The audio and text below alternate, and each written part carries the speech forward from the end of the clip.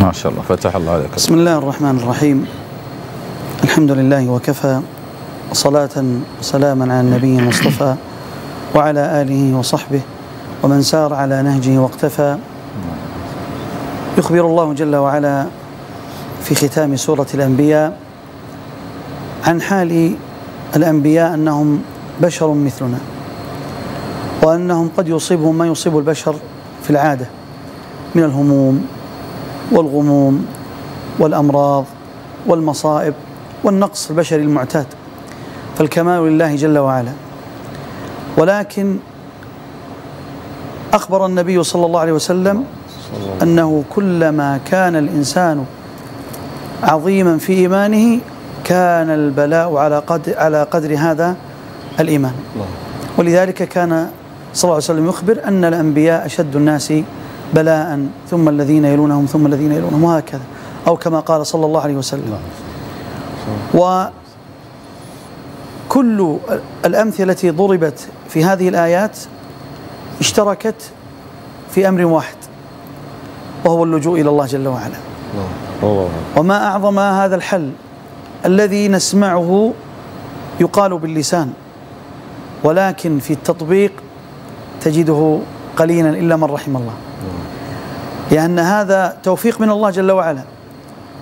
أن الإنسان إذا ابتلي يوفقه الله جل وعلا بأن يكون لاجئا إليه.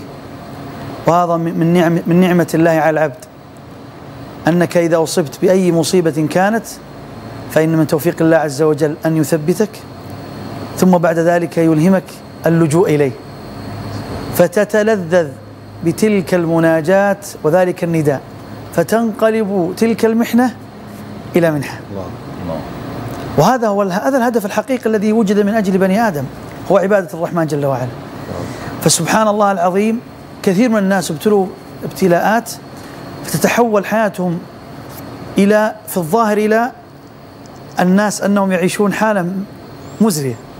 لكن في الداخل بينهم وبين الله عز وجل لذة لا يشعر بها الناس ولا يستطيع الإنسان أن يصفها. لأنه هذا من توفيق الله عز وجل. إذا أقبل العبد على الله عز وجل فناجاه وناداه وصل إلى الهدف المنشود الذي يريده الله عز وجل وهو عبادة الرحمن جل وعلا. ولذلك أيوب عليه السلام فنادى إسماعيل وإدريس وذا الكفل كلهم من الصالحين وكانوا صابرين. ذنوني نادى وزكريا نادى وأيضا في الوجه الآخر مريم عليها السلام وكلهم لجأوا إلى الله جل وعلا. وما القرآن إلا تذكير لعباده الله جل وعلا. وذكر فإن الذكرى تنفع المؤمنين وهداية وتبيان لكل شيء. فما بالنا سبحان الله العظيم إذا أصبنا بالمصائب نبتعد أو نتغافل أو نقصر في هذا الأمر العظيم الذي وعد الله جل وعلا أهله بتحقيق أمورهم. نقف على هذا ولو أريد أستاذ بالحديث لعل الدكتور إن شاء الله يعلق تعليق أفضل مني. وهذا شيء لغوي لطيف. في بداية المثال أيوب عليه السلام ماذا قال الله عز وجل في الجواب؟ فكشفنا بالفاء. فاستجبنا بالفاء. ترتيب فتعقيب فلما نقول مثلا دخل محمد فخالد. دخول محمد اولا يعقبه خالد مباشرة ليس بينهما فاصل. دلت الآيات لغويا والعلم عند الله جل وعلا. على أن الاستجابة كانت في نفس اللحظة التي سأل بها الله عز وجل هؤلاء الأنبياء. فهذا النبي عندما سأل الله عز وجل وهذه رسالنا كلنا إذا أتينا نسأل الله عز وجل سواء في ما أصبنا فيه أو ما نريده من أمور تنقصنا أو ما نريده من أمور يعني نحتاجها في الحياة فنسأل الله بيقين. هؤلاء الأنبياء لم يسألوا الله تجربة أو لم يسألوا الله عز وجل حتى يسليهم فقط لا. هم سالوا الله عز وجل حقيقة كما جل وعلا بين في الآيات. نادى هكذا المنادات حقيقة معناها واضح. لما أجي أنا نادي ابني ولا أخي ولا صديق نادى محمد خالدا فمباشرة أعرف أن النداء مجرد إيش؟ طلب. ولذلك أنت في دعاك عندما تأتي فإنك تطلب من الله عز وجل وينبغي أن يكون اليقين حاضرا بأن الله يسمعك. استشعر هذه هذا هذا الأمر العظيم الذي يغيب عندنا. أن الله يسمعك. من هو الله جل وعلا؟ أن الله يراك. وهذه هذه درجة إذا يعني في في إيمان الشخص إذا استشعر بها والعلم عند الله الإجابة آتية لا محالة. آتية لا محالة. والعكس بالعكس. إذا كان السؤال مجرد الاستعجال وأنني سألت الله عز وجل عادة ومجرد أنني احتجت إلى الله عز وجل وطرقت الباب ما نعلم الله هذا في أمور الغيب لكن يبقى في النهاية الله عز وجل فرق قال قل هل يستوي الذين يعلمون والذين لا يعلمون؟ رجل يسأل الله عز وجل بيقين ومعرفة بالله عز وجل وبقدرة الله جل وعلا وعظم الله عز وجل. شخص يسأل مجرد السؤال عابر لا لا يستويان عند الله عز وجل. ولا أريد أن أستأثر فلكن سبحان الله العظيم أختم بهذا في أن هذه الإجابات أو عفوا هذه الأسئلة أو النداءات أو هذه الأدعية لما جاءت من أنبياء فإن الله جل وعلا استجابها سريعا. وما العلم عند إلا الله سبحانه وبحمده أنه ما سألوه إلا يقينا وهم الأنبياء عليهم الصلاة والسلام. أسأل الله جل وعلا أن يجعلنا ممن يا رب يوفق لطاعته ولذكره وسؤاله في حال السعة وفي حال الضيق. اللهم أعنا على ذكرك وشكرك وحسن عبادتك واجعلنا عند البلاء من الصابرين. اللهم اجعلنا عند البلاء من الصابرين. اللهم اجعلنا عند البلاء من الصابرين. اللهم صل وسلم على نبينا محمد وعلى آله وصحبه أجمعين. والحمد لله رب العالمين. بارك الله فيك أبو عبد العزيز. تفضل أبو عبد الله. الله يجزاك بسم الله الرحمن الرحيم. والصلاة والسلام على أشرف الأنبياء والمرسلين نبينا محمد وعلى آله وصحبه أجمعين. بعد وددت ألا أن لم يسكت الشيخ. لقد حقها جاد وافاد ما شاء الله تبارك الله. وأعطى يعني آه، يعني آه، تصورا جميلا عن هذه الآيات التي قرأها. لعلي أنتقل يعني إلى جانب آخر إضافة لما ذكره أبو عبد العزيز. لو تأملنا هذه الآيات وجدنا أنها نماذج من أدعية مستجابة. هي نماذج من أدعية مستجابة. والدعاء طبعا ولا لاحظت. أيوب دعا لضر أصابه. وزكريا دعا لحاجة يريدها. فإما يعني و يونس عليه السلام دعا لهم هو فيه. هنا ضر هم وغم حاجة. فأي أمر يصيب الإنسان من هذه الأمور أو غيرها الملتجأ هو الله سبحانه وتعالى. وذلك وهذه كلها تدخل تحت القدر. ضر هم آه يعني حاجة. قدر قد يعني مستقبل ذلك يقول ابن القيم رحمه, رحمة الله عليه عفوا ابن تيمية رحمة الله عليه يقول القدر يكتنفه التوكل والرضا. الله. القدر في الوسط والتوكل قبله والرضا بعده. قال ويظهر هذا جليا في دعاء الاستخارة. اللهم إني أستخيرك بعلمك وأستقدرك بقدرتك وأسألك من فضلك العظيم فإنك تقدر ولا أقدر وتعلم ولا أعلم وأنت علام الغيوب. توكلت عليك هذا توكل. عرفت كيف؟ فدعاء الحاجة في الاستخارة تفويض الله سبحانه وتعالى. وفي آخر الدعاء قال إيش؟ آه ثم أرضني به. أو رضني به وردت اللفظين. فإيه كل اللفظين ورد. هذا يعني بعد القدر. هنا سبحان الله تتجلى هذا يتجلى هذا الأمر. اللي هو ضر هم وغم حاجة عند الأنبياء. والدعاء عبادة. الدعاء عبادة. وعبادة يحبها الله سبحانه وتعالى. ولا يستحقها إلا الله. الاستحقاق هنا لله فقط لا غير. ومن صرفها لغير الله فقد أشرك. الدعاء عرفت كيف؟ فهذه يعني مهمة جدا. ذلك النبي صلى الله عليه وسلم قال الدعاء هو العبادة. الدعاء هو العبادة. إبراهيم عليه السلام لما قال في سورة مريم قال وأعتزلكم وما تدعون من دون الله. عسى أن لا أكون بدعاء ربي شقيا. فلما اعتزلهم وما يعبدون من دون الله. شفت كيف؟ هنا أول قال واعتزلكم وما تدعون. ما ذكر العبادة هنا. لكن الآية اللي بعدها قال فلما اعتزلهم وما يعبدون من دون الله. الله. أي فالدعاء هو هو العبادة. هذا أمر. الأمر الثاني وهذا أيضا حقيقة من جمال القرآن وجمال الارتباط بالله سبحانه وتعالى وعظمة الله سبحانه وتعالى. جعل الدعاء مفتوح. جعل لك في الأول ربي. هنا ربوبية. لا إله إلا أنت. ألوهية. ربي أيضا ولله الأسماء الحسنى فادعوه بها يا حي يا قيوم فلاحظ في الدعاء بالربوبية لاحظ شيء عجيب يا إخوان ذكر الشيخ أبو عبد العزيز قال منادات صح ولا لا؟ ينادي ربه صح ولا لا؟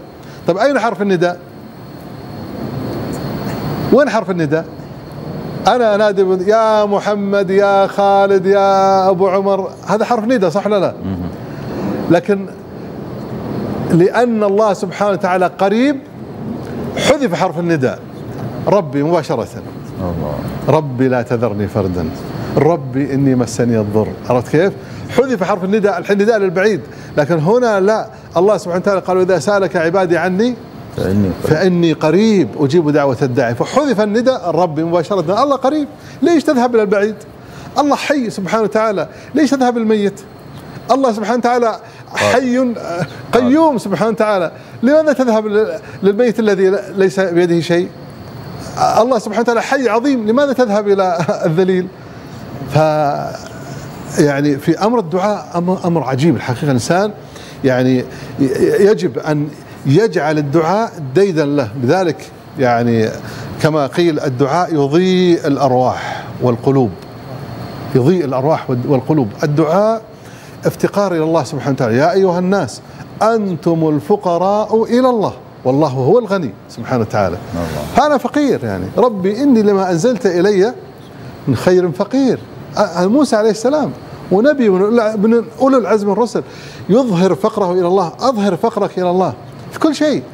كل شيء تريد أدعو الله سبحانه وتعالى. فاجعل الدعاء يعني آه عادة لك وعبادة. ليس عادة اقصد يعني م- تخرج من العبادة لا اقصد يعني ديدا لك وعبادة تداوم عليها. لعل اللفظ هذا أفضل.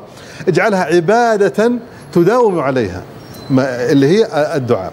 ف والأدعية المستجابة كثيرة لكن أنا فقط هنا ألفت الانتباه عرفت كيف؟ أن هذه نماذج من الأدعية المستجابة والسنة يعني فيها أدعية كثيرة. والنبي صلى الله عليه وسلم. قال ألظوا بهذا الجلال والإكرام. وغيرها كثير يعني. صلى الله وسلم على نبينا. الله يحفظك يا أبو عبد الله. تسلم.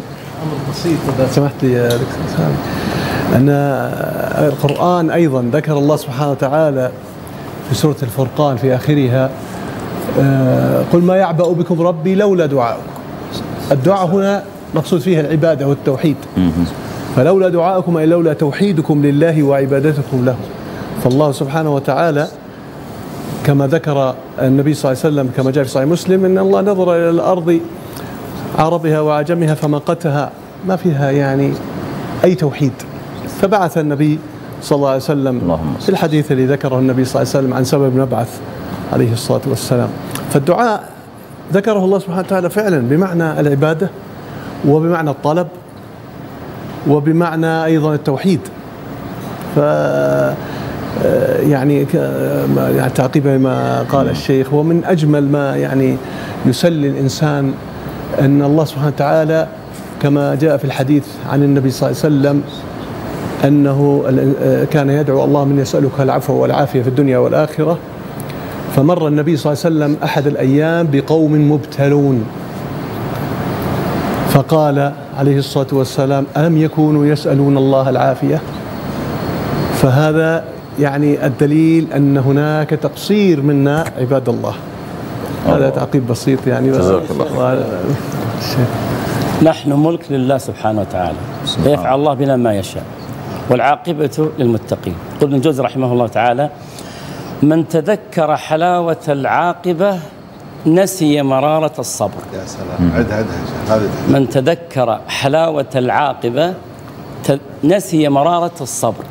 ففي الآيات كان فيها الصبر إنهم من الصابرين. والأنبياء هم قدوة في ذلك وهم هم أسوتنا وقدوتنا في ذلك الأمر في الصبر. فالصبر لابد منه في كل جوانحه. فلما يدعو يستشعر الله سبحانه وتعالى هذا بقدره وأنه سيصبر على هذا الألم وأن هذا الصبر أجره عظيم. إنما يوفى الصابرون أجرهم بغير حساب. أنا لو أني أنا وأنت أقول أبو عمر لا بالله المثل الأعلى شيك لأبو عمر مفتوح. أنا أتصور أبو عمر يطلع من القناة يمشي ما يمشي يطير لأنه شيك مفتوح. شيك من عندك لي. إي من عندي لك إيه. الله يرفع قدرك الله يجزيك سيد. والله إنك يعني يعني يعجبني فيك أبو عمر تتلمس جوانب الحاجة في اللي أمامك. تفضل. جيد فإنما يوفى الصبر أجرهم بغير حساب. لو زاي يعلق عليه يقول يغرف له الأجر غرف. لذلك لما يستشعر فالتقمه الحوت مثلا. يقول التقمك الألم ليعيدك لشواطئ السعادة فكن من المسبحين. ما شاء الله. التقمك الألم ليعيدك إلى شواطئ السعادة فكن من المسبحين. يونس عليه السلام قال لا إله إلا أنت سبحانك إني كنت من الظالمين. ما قال اكشف عني الضر. ولا أيوب كذلك. جميل. الإخلاص والصدق منزل عظيم بينهما شعرة. توحيد المراد وتوحيد الإرادة. الله. الإخلاص والصدق. وبالتالي ينجو والله سبحانه وتعالى يعلم ما في القلوب. هو القلب أهم نقطة في المسألة هنا في الجانب هذا. وبالتالي سينال. وسيعزم على الصبر سينال أجرا عظيما جدا. وجزاهم بما صبروا جنة وحريرا. قالوا الصبر هنا في الدنيا ضيق وخشونة. ضيق وخشونة. جزاهم بما صبروا جنة وحريرا. جنة سعة والحرير نعومة. بما أنه كان ضيق وكان خشونة كان الجزاء من الله سبحانه وتعالى وهو عظيم. ولا يمكن تصوره ولا يمكن تخيله. الآيات في كتاب الله سبحانه وتعالى قال لو جئنا بألف معنى في الآيات في الآية واحدة لم نستوفي حقها إطلاقا. لماذا؟ لأن فضل الله سبحانه وتعالى وصفته جل جلاله وهذا العقل ك يعني مخلوق بسيط من الله سبحانه وتعالى فما لن يحيط بعلم الله سبحانه وتعالى. اطلاقا لن يحيط. لكن هي العيش مع الآيات هو كم هو جميل. نقطة ألفت إليها كما أنه بدأ هذا المجلس المبارك بآيات. أرجو ان في المجالس هنا يعني عندنا أطفال وبنات وعيال وصغار. فلو قلنا هذا اقرا لنا آية لو آية واحدة يعني لو كل واحد قرأ آية أو قرأ فلان آية شجعناهم على القراءة وجعله يستعد بذلك يقرأ آية. يعني يقرأ قصار السور. يسمع ويتعود فيها أشياء كثيرة. الايات واحد القرآن يقرأ. ثانيا يتعود أن يتكلم بين. أهله وجماعته وأقاربه. أي والله تقهوينا ولا تعشينا ولا سولفنا ولا تدخل البركة في البيوت. بإذن الله تعالى. والشيخ بن باز له كلمة في ذلك يعني علم من الله رحمه الله أنه في مجالسه يبدأ بقراءة القرآن وربما الشيخ يعلق على ذلك. فهذا جميل مجالسنا ألا تخلو آية آيتين. ثلاث نجلس بالساعات أحيانا خاصة أيام الخميس والجمع والإجازات. يعني لو قرا لنا هذا ولا هذا كبير ولا صغير أن نفع الله بها والله أعلم. الله يبارك فيك أبو عمر. ما شاء الله لا إله إلا الله. طبعا هو في في الآيات بدأ بخير البشر اللي هم الأنبياء وخيرهم النبي صلى الله عليه وسلم. لكن ال- المنهج في أن هؤلاء هم احتاجوا أيضا لله عز وجل آه، ودعوا. وهذه أنا أتأمل فيها يعني حتى هم الدعاة ثم يعني رزقهم موضوع الصبر الصبر ثم جاء الفرج. حديث مسلم الصحيح عن النبي صلى الله عليه وسلم ما أعطي أحد عطاء خير واوسع من الصبر. يعني الخيرية والسعة في موضوع حتى الصبر. الإنسان الصابر غير الإنسان اللي يضجر ويتذمر كثيرا ويضيق صدره كثيرا في أي حالة. حتى بعضهم الشيء اليسير الشوكة يعني إذا جت شوكة يومه يخرب كلها ويتذمر ويضجر ويشكو للقريب وللبعيد وأشغل ال- وزارة الصحة والم... مع أن التطبب مطلوب لكن موضوع الصبر يعني حتى في الأشياء البسيطة تعود على موضوع الصبر. طيب آه، فيه رسائل, رسائل جميلة جت هنا بهذه المناسبة. يعني ودنا المشاهدين أيضا